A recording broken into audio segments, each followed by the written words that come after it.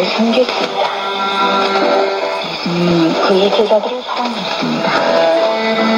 그는 그들을 섬기고 싶어 했습니다. 그는 그들을 도왔습니다.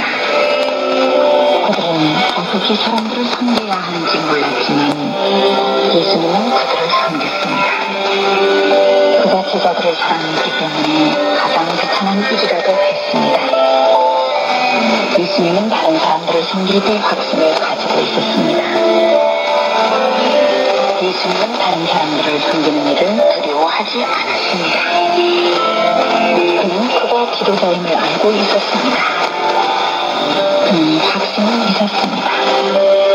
그는 좋은 지도자였습니다.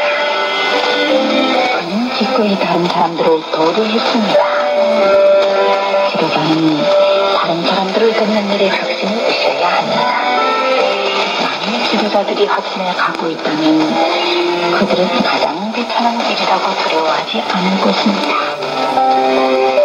예수님은 다른 사람들이 행하기를 원하는 그대로 행동을 했습니다. 그는 제자들을 섬김으로써 제자들이 다른 사람들을 섬기기를 바랬습니다.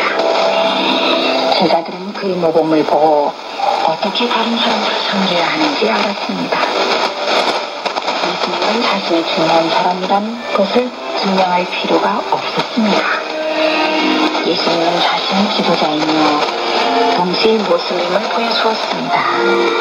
예수님의 제자들은 예수님의 행동을 보면서 어떻게 다른 사람들을 섬기는지 배웠습니다. 그들은 지도자는 동시에 모습임을 배웠습니다. 그들은 가까이 사람들이 모습이 되는 것이 다른 사람들을 유일한 방법이라는 것을 배웠습니다.